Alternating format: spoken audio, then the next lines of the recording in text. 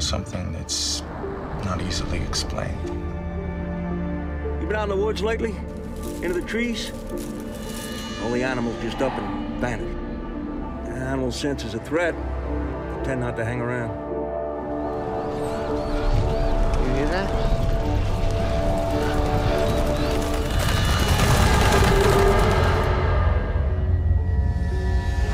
Jesse, come in, over.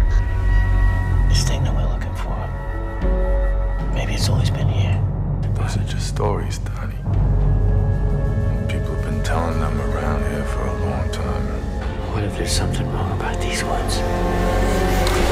You really think there's a monster in the woods, Donnie? Okay.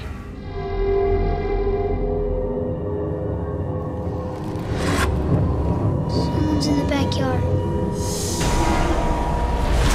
Anyone out there?